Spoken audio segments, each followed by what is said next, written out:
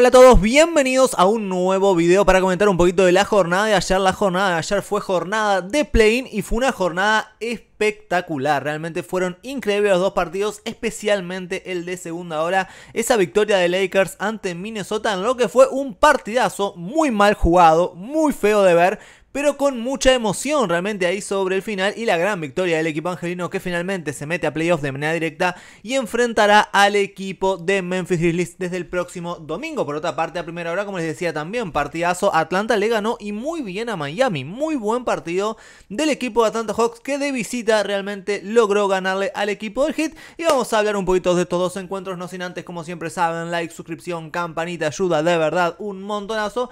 Y bueno, Atlanta hizo un gran partido. La verdad es que el partido de primera hora tuvo a un equipo de Atlanta que se plantó y lo hizo de una manera extraordinaria. Lo de Atlanta ayer fue muy pero que muy positivo. Muy poquitos creo que creían en Atlanta en el día de ayer. Y la verdad es que demostró que es un equipo como para hacerte pasar una muy mala noche en algún momento cuando este equipo está encendido. Fue una victoria además muy clara de Atlanta, muy muy clarita. Llegó a sacar 24 puntos de ventaja en el segundo cuarto.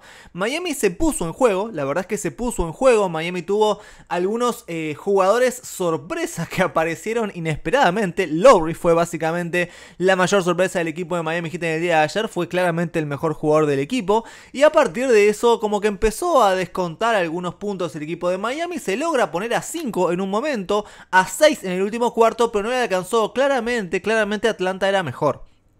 Claramente Atlanta fue superior en el día de ayer con mucha diferencia y se notó. Se notó que cada vez que se arrimaba un poquito a Miami Atlanta ahí apretaba el acelerador y volvía a sacar diferencia. Fue un gran triunfo del equipo de los Hawks, la verdad. Muy, muy buen triunfo. Terminó siendo de 116 a 105. Triunfazo realmente de la mano Atlanta. De un Trae Young que en el día de ayer jugó bastante bien. 25 puntos para él, 8 rebotes, 7 asistencias, 18 puntos para John Temura. Y la verdad es que ayer estuvo todo muy parejito en Atlanta. La verdad es que todos hicieron su trabajo. John Collins con 10 puntos, 4 de 8 de campo, ni tan mal. Capela hizo un gran trabajo también. Apenas 4 puntos para él, es cierto, pero tomó 21 rebotes. 21 rebotes de los cuales 8 fueron ofensivos. O sea, una locura la cantidad de segundas oportunidades que le dio Capela a su equipo y el banco de suplentes. La verdad que ahí estuvo más que nada también para el equipo de Atlanta Hawks la diferencia en el día de ayer. Bogdanovich jugó un muy buen partido, 14 puntos para él. Sadik Bey, 17 puntos, en este caso para él partidazo. 12 puntos para Okongu con unos cuantos rebotes y 4 tapas además para Okongu. Y Jalen Johnson con 10 puntos también muy importante, 7 rebotes, 3 asistencias, eh, de, perdón, 3 rebotes de ellos ofensivos, 3 asistencias también, 3 robos de balón, o sea, Partido súper, súper eh, completito de Jalen Johnson. Hizo un partido solidísimo, muy, muy sólido Atlanta en el día de ayer. Me gustó muchísimo, la verdad. Si esto hubiera sido el equipo de Atlanta que, que hubiera jugado toda la temporada, distinto sería. Muy distinto sería. Pero ayer Atlanta la verdad es que lo hizo francamente muy bien. Partido súper sólido, como les digo. No perdió muchas pelotas Atlanta. El que más perdió, el que más estuvo desconectado en ese aspecto fue Trae Young, que igualmente jugó un bastante buen partido de líneas generales.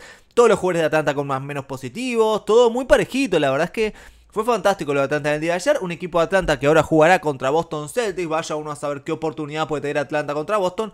Pero ayer hizo un buen trabajo. La verdad es que lo de Atlanta ayer fue muy positivo y se logran llevar un muy buen resultado como para meterse a playoff en el séptimo lugar directamente, cosa que no está nada pero que nada mal para cómo se le dio la temporada al equipo de Atlanta Hawks. Por otra parte, Miami fue un papelón en el de ayer, la verdad. Papelón total y absoluto del equipo de Miami Heat. No me gustó nada. Absolutamente nada Miami en el día de ayer, ¿eh? absolutamente nada positivo que destacar. Jugaron prácticamente todos mal. Algo de Hero que dentro del juego más o menos que tuvo, no estuvo espectacular Hero, pero fue de los únicos que intentó un poco.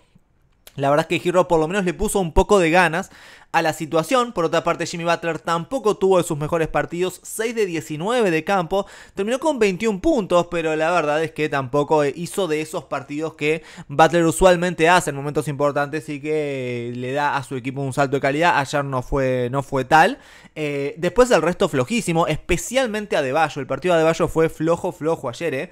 Totalmente maniatado por un Capela que hizo lo que quiso e incluso Okongu de ratos también le hizo lo que quiso, o sea, muy curiosa la situación. Adebayo ayer fue de lo peorcito, de lo peorcito de este equipo de Miami a mi gusto sin duda alguna. 12 puntos, apenas 9 rebotes, apenas muy poco participativo además. Porque podés cerrar, qué sé yo, podés tener un mal partido, lo que sea, pero un poquito más de intensidad en un partido de esta índole se puede pedir. Y después, obviamente, Max Struz tampoco estuvo bien, Gabe Vincent tampoco estuvo bien, desde el banco no encontró tampoco alternativas. El único que sí que lo hizo de muy buena forma fue Kyle Lowry. Como les decía, Kyle Lowry tuvo un partidazo. 33 puntos para Lowry, 5 asistencias, 0 pérdidas de balón para Lowry. 11 de 16 de campo, 6 de 9 desde el triple. Fue claramente el mejor jugador del partido para Miami, pero sin duda alguna y con mucha diferencia. Un Lowry muy criticado, un Lowry que no ha tenido obviamente una buena temporada, las cosas como son, pero que ayer sacó la cara por el equipo. Y si este Miami Heat en algún momento tuvo alguna posibilidad de lograr algo, fue gracias a Lowry. Claramente fue gracias a Lowry que lo hizo de manera espectacular ayer, pero otra vez Miami se termina quedando corto. Ha sido la tónica de Miami a lo largo de toda la temporada, ¿no? Ha sido la tónica de Miami a lo largo de todo el año ser de esta manera. Un equipo que deja dudas, un equipo que no encuentra alternativas, un equipo con mucho altibajo, pero más bajo que otra cosa. La verdad es que Miami se ha complicado fuertemente y ahora, bueno, tendrá que ganarle a Chicago o al equipo de Toronto Raptors, al que gane del segundo play-in que se juega justamente esta noche, como para meterse en el octavo lugar. Pero la realidad es que uno ve a este Miami. Y sinceramente, a ver, seamos honestos también, Atlanta tiene poca chance de ganarle a Boston.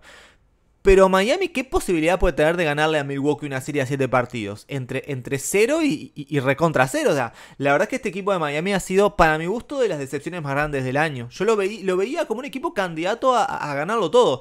Y ha sido muy decepcionante, la verdad. Ha sido muy decepcionante. Hay, mucho que explicar de parte de Miami, especialmente desde arriba, ¿no? No solo los jugadores, que algunos también, pero la verdad es que lo de Riley armando el plantel, Spoltra tampoco ha dado la talla en esta temporada. Y bueno, a partir de esto, obviamente Atlanta se pudo hacer fuerte y llevarse el juego al fin y al cabo. Reitero, muy sólido partido Atlanta, muy buen partido Atlanta dando muestra de cuando están enchufados son un equipo muy pero que muy a tener en cuenta. Partidazo realmente el que dieron en el día de ayer en un escenario, en un escenario en Miami que la verdad también eh, estuvo bastante frío, eh, bastante frío.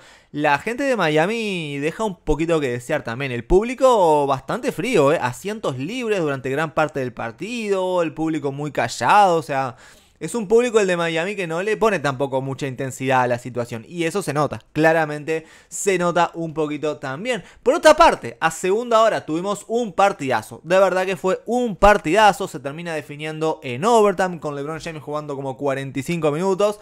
Triunfazo de Lakers, la verdad, triunfazo espectacular, jugando mal, los dos jugaron muy mal, la verdad, el equipo de Minnesota el último cuarto fue un desastre y Lakers con un poquito más nomás se termina llevando un partido plagado, plagado de nerviosismo, plagado de errores, plagado de pérdidas tontas, que parecían un momento que no lo quería ganar ninguno de los dos. La verdad que es muy curioso todo, muy curioso todo, pero el partido se dio de esta manera. La verdad es que a lo largo del juego, en líneas generales, Minnesota jugó un poco mejor.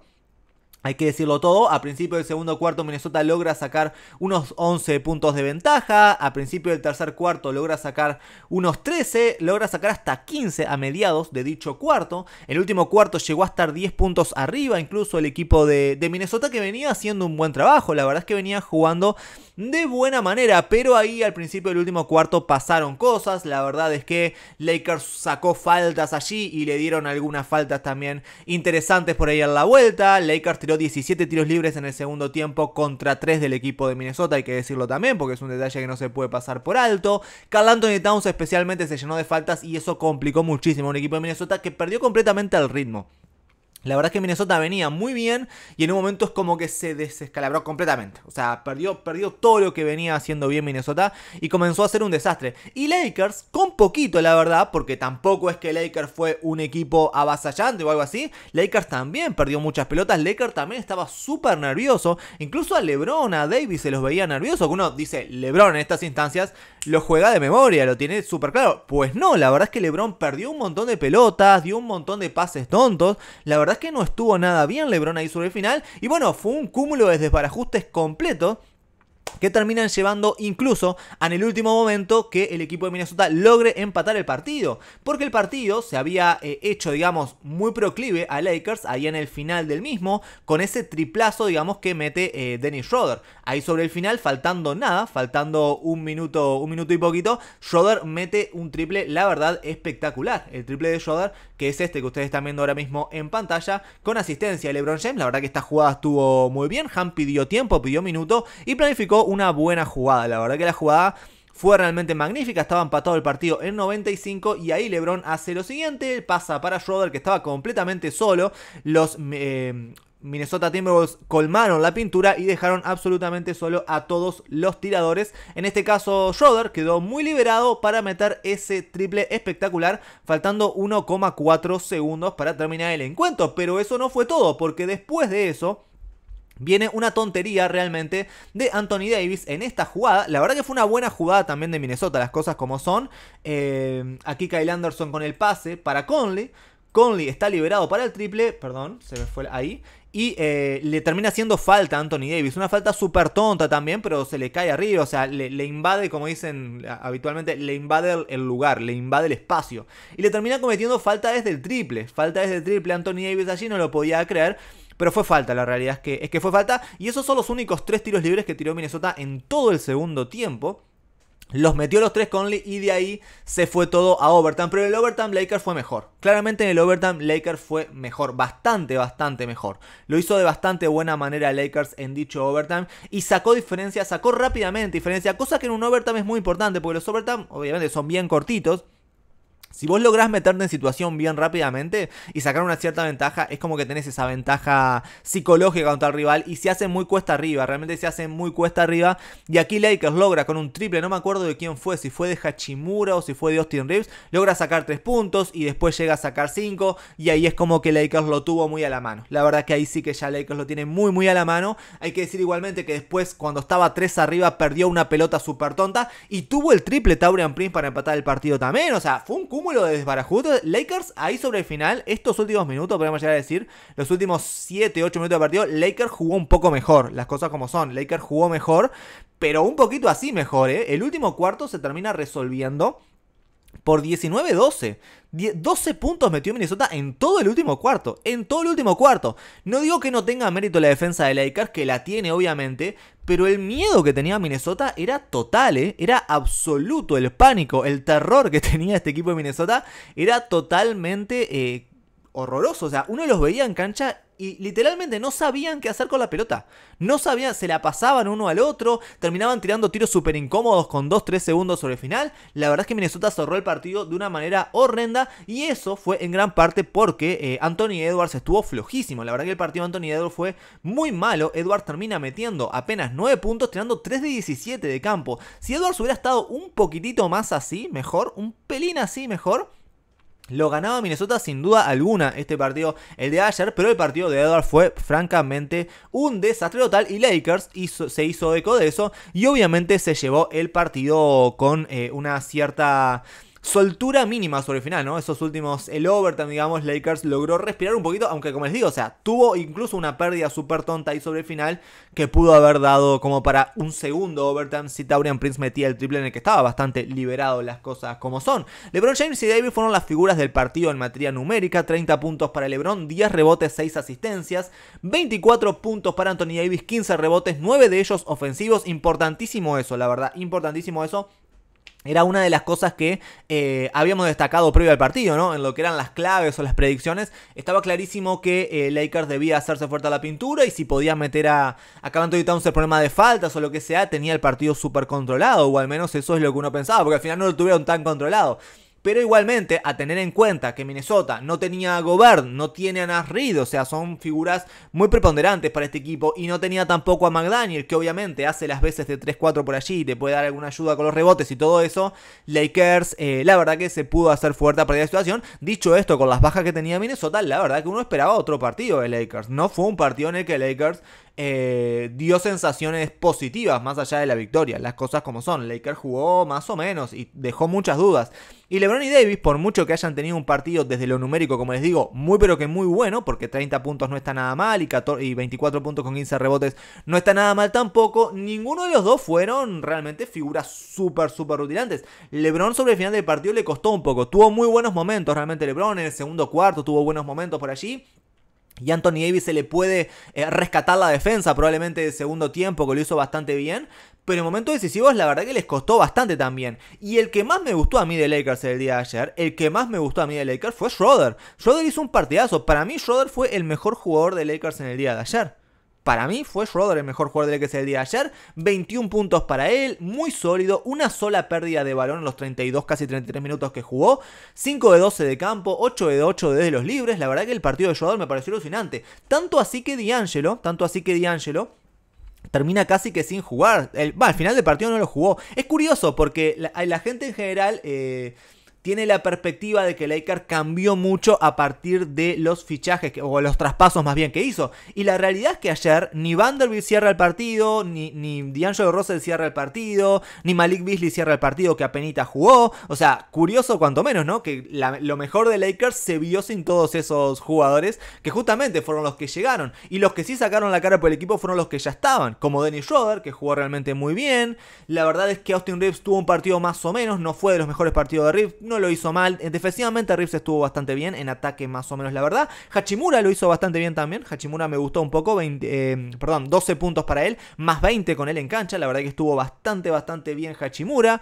A partir de eso Lakers logró llevarse un partido, reitero, muy, muy, muy feo de ver que realmente se terminó haciendo lindo por la importancia del partido, obviamente por la importancia del partido y por lo parejito que estaba todo. Pero fue un partido bastante mal jugado, especialmente ese último cuarto fue un partido complejo, complejo, complejo de ver. Si esto hubiera sido un partido entre dos equipos que estaban tanqueando, como no sé, un Detroit contra, contra Houston Rockets, vamos por caso, hubiera sido inmirable y cualquiera hubiera cambiado de, canal muy rápidamente.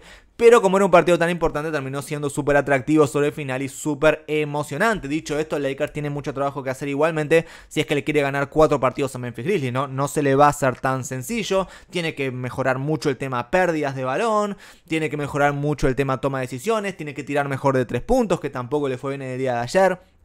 La verdad que un montón de cuestiones que Lakers debe mejorar, pero bueno, ganaron, que al fin y al cabo era lo importante para Lakers ganar el encuentro, como para clasificarse a playoffs de manera directa, y Lakers lo hizo, que al final por lo menos terminan cumpliendo el trabajo, que era lo de ayer, o sea, estaba claro que el objetivo era ganar el partido. Jugar bien, bueno, mejor que mejor si se lo hacía, no se logró, pero lo importante era ganar el partido y Lakers lo consigue, al fin y al cabo, cosa que no está nada, pero que nada mal. De parte de Minnesota, la verdad es que Minnesota jugó bastante bien en general hasta el último cuarto.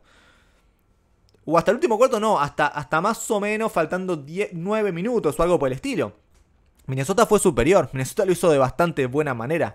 Eh, en el día de ayer. Y la verdad es que cuando tuvo más o menos a sus titulares en cancha, el equipo lo hizo de buena forma. Lo que le pesó a Minnesota fue las bajas que tenía. Y lo habíamos comentado, lo habíamos dicho. Y era obvio, ¿no? Eh, le, iba a costar. Tenía que hacer un partido casi perfecto a Minnesota. Para no, para no sufrir esas bajas. Y ese último cuarto Minnesota no, no fue nada bueno. Y se notó mucho. El equipo llegó cansado al final. El equipo llegó sin piernas, sin ideas. Le costó un montón, realmente le costó un montón. Estoy seguro que con Nash solamente con Nash Reed, ayer Minnesota hubiera ganado el partido y lo hubiera ganado bien. Lo hubiera ganado por 20 y pico puntos. Porque lo tenía controlado. De hecho, con Carl Anthony Towns en cancha, que termina jugando 41 minutos, termina más 18. Más 18 en los 41 minutos que jugó Carl Anthony Towns al fin y al cabo. Lo hizo muy bien Carl Anthony Towns realmente en esos minutitos que le tocó jugar. Y después, bueno, bien acompañado por Conley. El tema fue ese. El tema fueron las bajas y el horroroso partido de Anthony Edwards. Si Anthony Edwards hubiera estado un poquito así bien. También, reitero, Minnesota se lo llevaba el partido ayer, sin duda alguna. Pero el partido de Edward fue horripilante realmente y encima totalmente desbocado, tirando demasiado, mucho más de la cuenta. Cuando no estás en un buen partido, yo sé que Edward se tiene la confianza y todo, pero la verdad es que si estás tirando 3 de 17, no tires 17 tiros al aro, tirá 8, 9, qué sé yo, 9 triples tiró, los, los cerró todos. La verdad, flojísimo, flojísimo lo de Edwards en el día de ayer. Taurian Prince no hizo un mal trabajo, la verdad es que para suplir a McDaniels lo hizo de buena forma. Kyle Anderson tuvo luces y sombras, tuvo de sus buenos momentos, pero tuvo de los otros también. La verdad que tuvo de los otros también. Buen primer tiempo de Kyle Anderson sobre todo, o tres primeros cuartos principales. El último cuarto y el overtime de Kyle Anderson fueron horripilantes realmente. Y desde el banco Alexander Walker no lo hizo mal, fue lo mejorcito dentro de todo. Hizo un trabajo más o menos positivo. Y la verdad es que a partir de eso Minnesota estuvo también en partido, llega a sacar ventaja, etcétera, etcétera. Pero no le alcanzó, ahí sobre el final no le termina alcanzando a un equipo de Timberwolves que se quedó a las puertas realmente. Jugó un buen encuentro, la verdad. Minnesota da muestra de ser un equipo que de a ratitos realmente está bien, pero claro, e, entre que no han tenido suerte, entre que han hecho todo mal, porque la verdad es que en materia de traspaso y todo han hecho casi que todo mal. Em, y una cosa y la otra, y la verdad es que el equipo termina, termina penando en estos momentos y, y ayer pecó también de juventud, de inexperiencia. La verdad es que flojito todo. Y Carl Anthony Towns fue de lo mejorcito del partido mientras estuvo en ritmo. El problema es que se cargó de faltas Carl Anthony Towns. La verdad es que algunas de las faltas que cometió para mi gusto no fueron también las cosas como son. Especialmente la quinta. La quinta no, no, no hay nada. O sea, Davis lo agarra y se tira medio al piso y le cobran falta a Carl Towns para mi gusto no fue y eso condicionó muchísimo. Porque Carl Anthony Towns venía en un ritmo muy muy bueno y a partir de esas faltas termina saliendo y como que le cortó un poquito la intensidad con la que tenía y después además cuando vuelve, vuelve claro con el miedo de que cualquier falta que te cobren te vas. Entonces claro, no jugó con la misma intensidad y se notó, se notó porque Carl Anthony Towns en el primer tiempo especialmente y el tercer cuarto un poquito también le hizo un destrozo a Lakers, realmente fue completamente indefendible, completamente indefendible.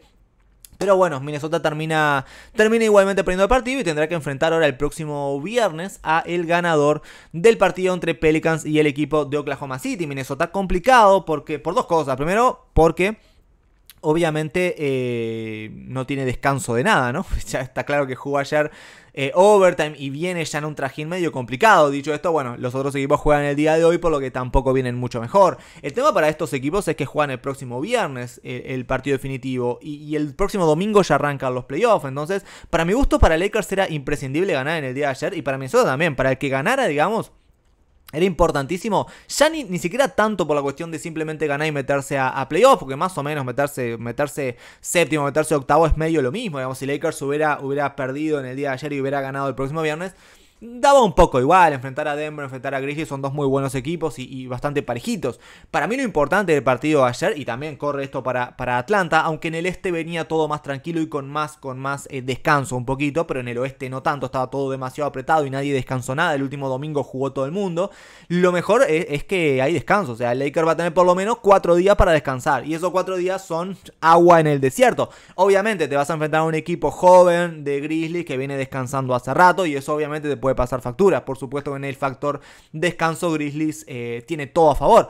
Pero, pero igualmente hay por allí, digamos, eh, un em, pequeño emparejamiento positivo a favor de Lakers que con estos días de, de, descansito por lo menos puede medio meterse en situación, ¿no? Que de lo contrario, de lo contrario, el descanso de, en este caso de Denver, si hubiera jugado el octavo, eh, hubiera, sido, hubiera sido muy diferente, hubiera sido mucho más en este aspecto. Así que bueno, gran victoria del equipo angelino, sin jugar bien, dejando algunas dudas, pero gran victoria al fin, que era lo que importaba ayer. las finales, y esto era básicamente una final o, una semifinal, podríamos decir, se ganan. Hay que ganarlas sí o sí, a como, como dé lugar, como se pueda, y Lakers lo ganó, que al fin y al cabo es lo importante. Así que bueno, hasta aquí el video. Si les gustó, como siempre, like, suscripción, campanita, ayuda de verdad un montonazo. Muchísimas gracias a todos por haber llegado hasta aquí y obviamente nos vemos la próxima.